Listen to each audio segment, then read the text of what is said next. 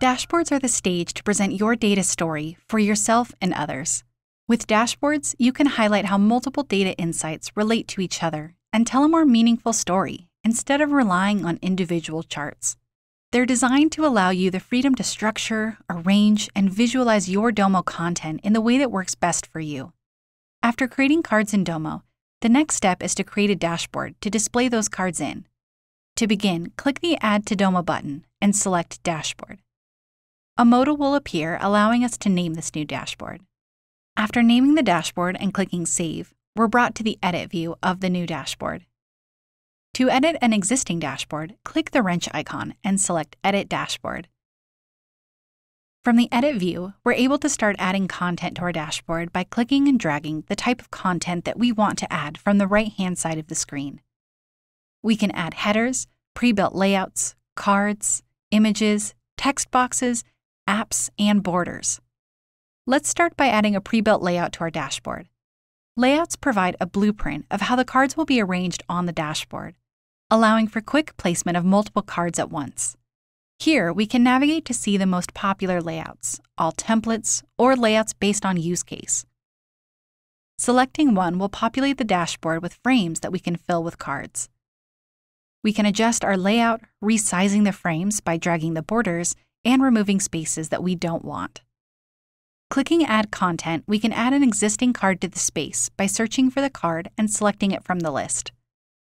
Alternatively, we can choose to create a new card, saving our progress in Opening Analyzer, or assign someone to build a card for us. If we don't want to use a card, we can switch the content over to a text box, an image, or we can insert apps straight from the App Store. In this example, we'll select text, and then we'll use the formatting options to create a section title. When adding additional content to our dashboard, the borders of our existing content will highlight where it will be added when we release the mouse button. For example, we can divide up the space taken by this card, or I can place it below both of these cards to create a new section title.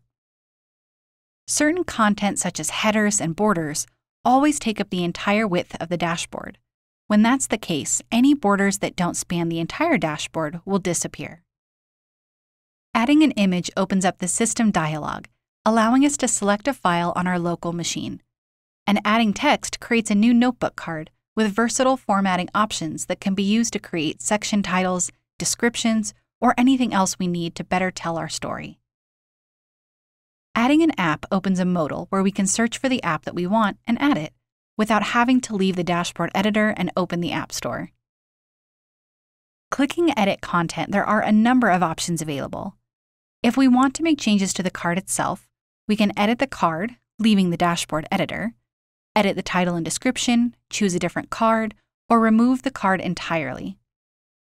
Under Display Settings, we can toggle whether to display the title, time frame, summary number, the chart itself, and the Card Options button. Clicking Change Background lets us select a solid colored background or set the card to be transparent.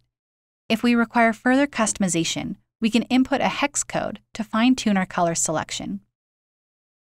We also have the option to change what happens when a user interacts with the card.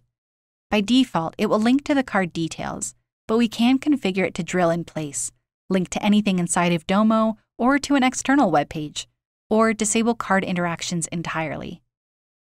Finally, we can set filter exceptions, preventing certain cards from being affected by filters. Under Options, we can change our dashboard's background, choosing between a color fill and image fill. We can set our dashboard's display mode to either be fixed width or auto width, and we can preview where page breaks will be included when exporting the dashboard. When previewing page breaks, if our content needs to be adjusted to not be cut off, we will see this message. We can use the guides to fine tune our dashboard if this is the delivery method that we have in mind. Once we've created our dashboard, we can preview what it will look like for a mobile audience from this dropdown. We can rearrange and resize cards to better fit the mobile format, and even hide cards completely from the mobile view, allowing us to fine tune the mobile experience of the dashboard. When we're happy with our dashboard, we can save our changes by clicking the Save button here. We're always able to edit our dashboard again if we want to make additional changes. Easily tell your data story providing answers to your business questions with the customizability of Domo's dashboards.